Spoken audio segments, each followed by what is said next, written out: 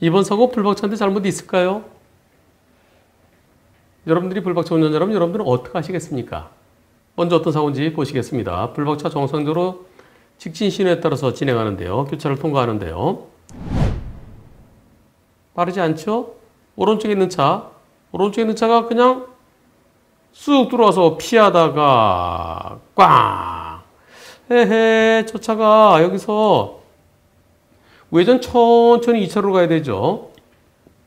그런데 불박차는 아, 여기가 1차로 직진, 2차로 직진, 3차로 우회전. 그래서 불박차 2차로로 가야 되는 상황입니다. 2차가 2차로 들어오면서 저 차가 들어와서 피합니다. 1차로 피합니다. 피했다가 다시 2차로 들어오는데 뒷차가 오면서 뒤에서 쾅.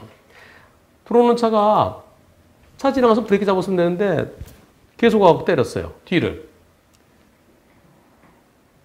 내가 이미 지나갔는데 내 뒤를 때렸으니까 100대 0일까요? 저는 그렇게 답변 안 했습니다. 불박차가 여기에서요. 여기에서 상대차가 들어오면 1차로에 차가 없죠. 아직 1차로에 차안 들어옵니다. 그러니까 여기서 상대차 들어올 때 1차로로 피합니다. 피하면은 1차로 그냥 계속 가도 되는데 만약에 가다가 1차로 뒤에는 차가 있어서 피했다고 그러면 그렇다면 불박차 잘못이 없겠지만 없다고도 할 수 있겠지만 그런데 불박차가 피하는데 뒤에서 꽝 1차로 지나간 차 있나요? 없어요. 아직까지 없어요. 1차로 지나간 차. 그러면 상대차 들어올 때 1차로 피했으면 1차로는 쭉 가던데 왜 가다 다시 복귀했느냐. 그 점에 대해서 불박차에게 한 10 내지 20%볼 수 있습니다. 불박차가 순간적으로 1차로 차가 오는지 안 오는지 몰라요. 몰라 이미 들어갔다가 다시 왔잖아요. 들어갔다가 그럼 그, 그 속도로 쭉 가면 돼요. 들어가다 사고 났다 그러면 그때 1차로 차가 오는지 안 오는지 내가 어떻게 알, 어떻게 하라는 얘기냐 그러면서 그래서 근데 들어갔는데 마침 차가 없어서 쭉 가도 되는데 갔다가 돌아왔는데 갔다가 휙 돌아왔어요. 그래서 이번 사고 여러분들도요. 우선 여기서요. 우선 여기서 내가 2차로 가야 되잖아요. 근데 여기 차가 오면은 저 차가 멈추는 걸 보아야 됩니다. 이 차가 멈출지 안 멈출지 모르죠. 그 속도를 조금 줄여야 돼요. 속도를 줄이면서 저 차가 계속 움직이는지 안 오는지. 자, 여기서 가는데 저 차가 오죠? 움직이고 있죠? 움직이고 있죠? 움직이고 있죠? 움직이고 있죠? 이 차가 계속 움직여요. 그럼 이 차가 빵 해줘야 돼요. 지금 오디오가 없어 빵 했는지 아닌지 모르겠습니다만은 이 차가 멈, 멈추면은 내가 가도 돼요. 근데 계속 움직이면은 내가 혹시에 대비해서 속도를 줄이면서 빵! 이 차가 멈추면 내가 지나가고 안 멈추면 그래 너 먼저 가라. 그래서 사고 안 나죠. 그래서 그 자체로도 지금 10 내지 20%볼 수도 있습니다. 블록차한테. 10% 쪽으로. 그런데 일단 지나쳤어요. 지나친 다음에 넘어갔잖아요. 이쪽까지 1차로까지. 그 쭉 가면 되는데 왜 다시 돌아왔느냐. 그 점에 대해서 역시 불박차 10 내지 20으로 볼 수 있습니다. 한편 단정 짓는 건 아니고 그런 의견입니다. 한편 여기 흰색 선이 있죠.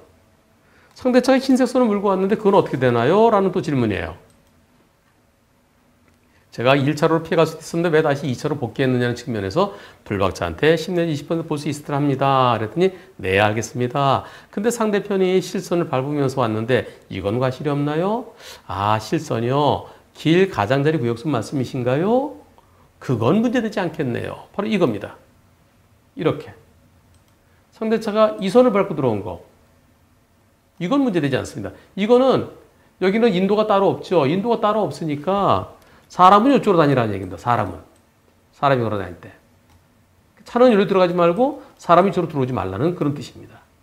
그래서 이 차가 이쪽 실선 밟은 거, 이 실선 밟고 들어온 거, 요 차도 나름대로 피한다고 피하면서 이쪽으로 가서 그래서 밟은 것 같아요. 상대차야 길 가장자리 외곽선 밟은 거 저거는 문제되지 않겠습니다. 그래서 항상 내신호가 가더라도 우측에서 들어오는 차가 당연히 양보해야 되죠. 여기도 상대차 양보라고 돼 있어요. 근데 양보를 100%안 합니다. 어, 특히 우리나라 운전자들이 양보를 잘 안 해요. 여기에 보면은 양보라고 어디 돼 있을 텐데요. 어ቋkup에서 안 보이나요? 요 들어온 쪽에는 양보돼 있어요. 양보. 양보는 어떤 건가요? 여기에다 양보라고 써 있을 수 거예요. 영어는 yield, yield. 그리고 그 이렇게 삼각형이 이렇게 돼 있습니다. 역삼각형. 이 양보하라는 건데 양보는 양보는 지나는 차에 있으면 속다 가야 돼요. 근데 아이고 이시정지 정말 안 합니다. 물론 그때 이시정지 안 했다고 해서 신호위반, 지시위반으로 보지는 않습니다만은 그러나 내가 큰 길로 들어갈 때 큰 길에서 오는 차들 저쪽에서 오는 차가 나, 내가 먼저 들어갈 것 같죠? 하지만 그 차는 달려오고 있어요. 나는 천천히 들어가고 섰다가 차가 없을 때도 차가 저 멀리 있을 때 그때 들어가야 됩니다. 일단 들어오는 차가 시간적으로 이 차가 먼저 들어올 수 있을 것 같죠? 하지만은 이 차는 속도가 빠릅니다. 당연히 이쪽 차가 당연히 이쪽 차가 최소한 80에서 100%입니다. 들어가는 차가 물론 직진차가 엄청난 가속이 때는 다르죠. 네, 멀리 서서 들어가는데 그 차가 엄청나게 달렸으면 그때는 달라지지만 합류도로에서 들어가는 차가 양보하십시다. 양보. 양보는 미덕입니다. 그리고 양보는 안전입니다.